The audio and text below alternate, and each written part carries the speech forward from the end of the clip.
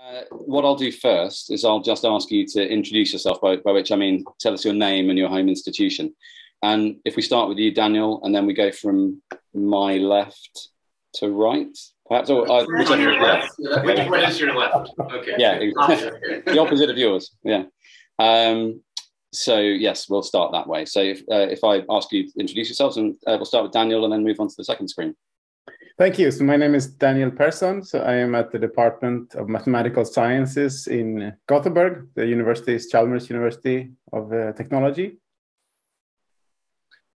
My name is Axel Kleinschmidt. I'm from the Max Planck Institute for Gravitational Physics in Potsdam, Germany. And um, yeah, I work in, I'm in the division of quantum gravity and unified theories and work on mathematical structures of string theory. My name is Katrin Wendland. I'm at the School of Mathematics at Trinity College Dublin. I call myself a geometer and I have a, an interest also in conformal field theory and mathematical aspects of conformal field theory. Hi, I'm Sol Friedberg uh, from the Department of Mathematics at Boston College in the USA, and I'm interested in number theory, automorphic forms, and representation theory, and excited to see the connections to physics that are emerging. Wonderful. Thank you all very much. Now, our first question could you give me an overview of your program's theme and topic, please? Yeah, maybe I can start. So, um, well, the, the program is called New Connections in Number Theory and Physics. And um, I would say, for short, the main theme and purpose of this is really to bring mathematicians and physicists together uh, to discuss common areas of interest. And I think uh, one aspect of this is that you know physicists quite often have questions that they want to have answered or problems, and, and they might find some very good help from our fellow mathematicians. And on the other hand, uh, what we've come to realize is that in physics, when we ask questions about you know nature or whatever maybe questions about black holes let's say. It turns out that that when you translate those questions into equations uh, they usually point to some interesting new aspects of math. Uh, and that could be very fascinating for mathematicians because suddenly you have a new input of ideas coming from physics. And so that's what we hope to to cultivate and to foster these kind of uh, new collaborations between math and physics just to add to that, I think that historically, physics has generated all sorts of great ideas that have taken on a mathematical life and been very important to mathematics. And conversely, mathematical discoveries have played an important role in physics. So we're trying to do that in a new context. And it's very exciting to, to see that coming to, to fruition.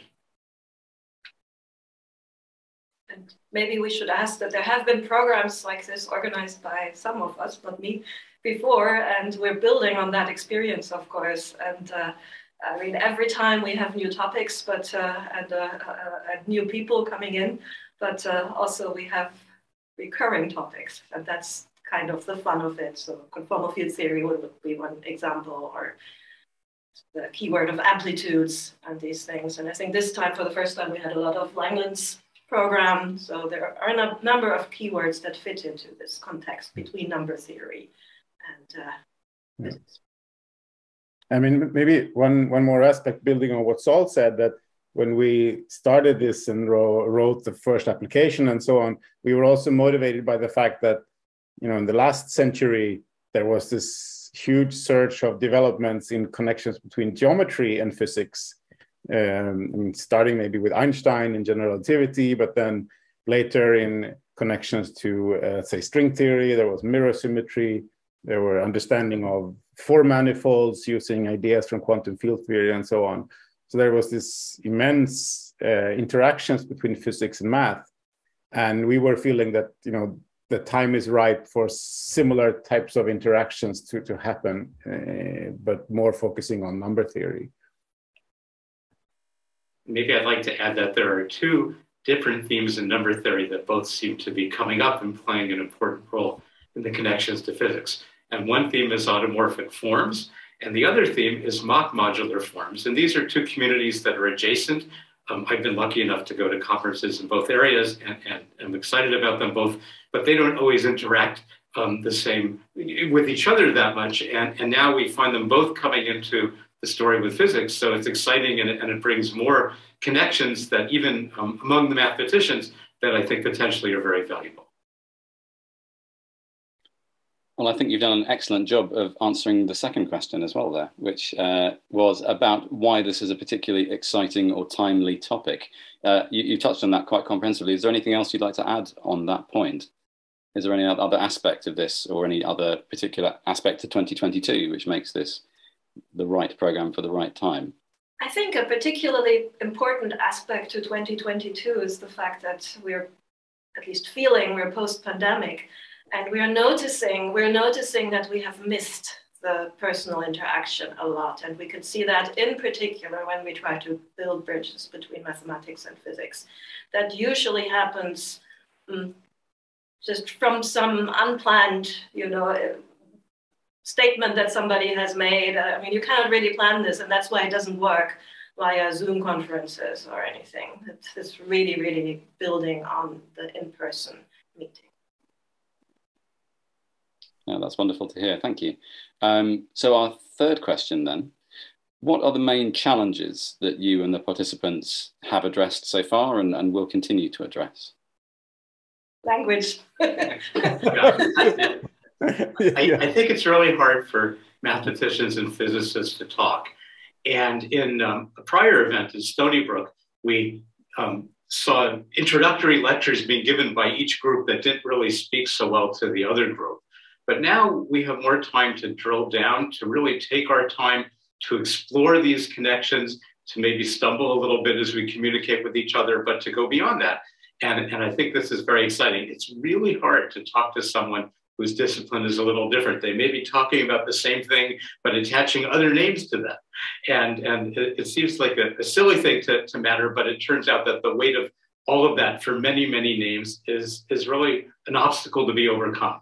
But I think um, the fact that we're here for eight weeks and really can talk together and, and talk in small groups and talk in person um, has, has is contributing a lot to our mutual understanding.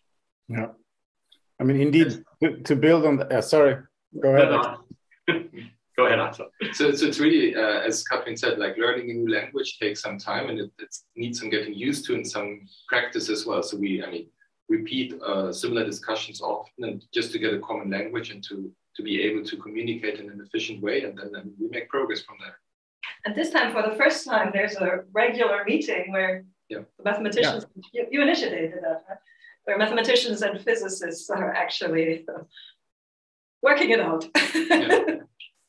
yeah, I mean, maybe just to give an example, I mean, there are these many years ago, like Axel and I and others were looking at these certain functions that appear in, in studies of quantum gravity and and we wanted to understand why they were you know vanishing in a certain sense. And and then you know you start talking to mathematicians and then you realize that there is whole community working on automorphic forms uh, Sol being one of them. And and then they say well there's a simple reason why this happens. And suddenly you you realize that if you just formulate your question in the right way there can be a host of new tools that that you can use. And i think that's really fascinating and the flip side of that is that some of the some of the objects that that uh, the physicists are finding are natural are not objects that mathematicians have looked at before.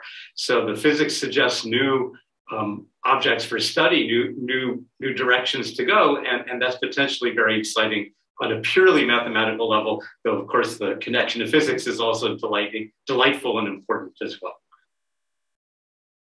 maybe we can mention in this context that we had uh, during the program we had this uh, sort of spontaneous discussion of uh, quantum field theory for mathematicians uh, which perhaps was not really part of the original plan but it happened because the participants started talking. And, and that was from a very different point of view where just basic aspects of physics were pre presented and, and it created very intense and lively discussions that was quite entertaining. And it's continuing. You're talking about it in the past. It's continuing. Right, right. Yeah, yeah. Okay. So it's continuing. it's ongoing. Thank you. Wonderful. Thank you very much for that. Uh, so our, our, next question is about the applications or potential applications that the field has. Well, it's a foundational, it's fundamental research. So um, there are no applications in the traditional sense that we will build something tomorrow from the results of this uh, workshop and program. But there's a lot of fundamental research that's happening. And, uh, and that has potential applications in, way that's, in ways that we cannot predict. I mean, we've often seen in the history of science that, that this fundamental research then leads to applications um, going forward. So it's a long-term investment to do this kind of research. But there's an awful lot of experience, an awful lot of history that shows that this fundamental research does have consequences in, in the future. And also the workshops we had within the within the program, they were themed as bridges, because somehow if you think of mathematics and physics as being two disparate things, which is maybe not a good uh, picture, but I mean there are gems on both sides of the river or abyss or whatever. And one of the applications is that we sort of identify these things and ask which ones can we take to the other side across the bridge and bring some some fruitful uh, new results or ideas to the other side.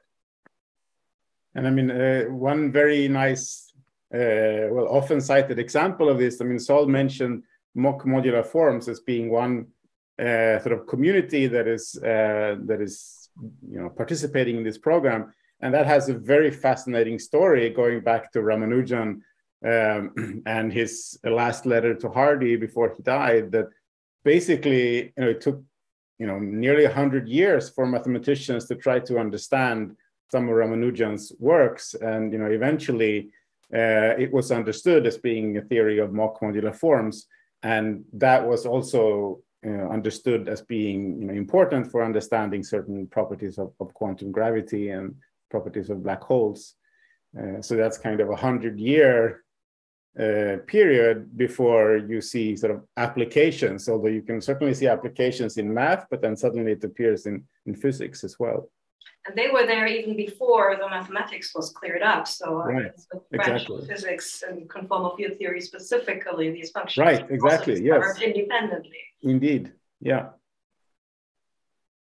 And some of the new connections, uh, such as the connection between L values and entropy for black holes, um, points to future developments and, and, and more connections um, to come. Right, right. We have crossed the bridge to the other programs, to one program before and one program after us. So I mean, we have we, we share participants, and I, I think that's a nice aspect. Yeah. Absolutely. Yeah, I think you've, you very much touched on the final question there as well. So uh, the final one is, could there be any other impacts from your program, such as novel collaborations across disparate fields? Now, you, have just mentioned that exactly, and also the, the core of your program linking together mathematicians and physicists. So I feel cruel to ask you if there could be any other impacts, um, but if there are any others, then please do volunteer them. Well, maybe just to reconfirm, I mean, I think the work that we put into selecting participants and in particular to bring new people to the table, I think that really paid off because we can see that they talk to the old guys and uh, there are new collaborations that we see arising from that. So that's been working really nicely. I'm very happy about that. Yeah, yeah, and I think that the young people in the field see the vigor and the interest in communicating to people in a different discipline and um, I hope that that will really um, inspire them to, to continue with that in the years to come. Wonderful. Well, thank you very much. That was extremely interesting, and I, I really appreciate your time taking to explain uh, the full details of your program.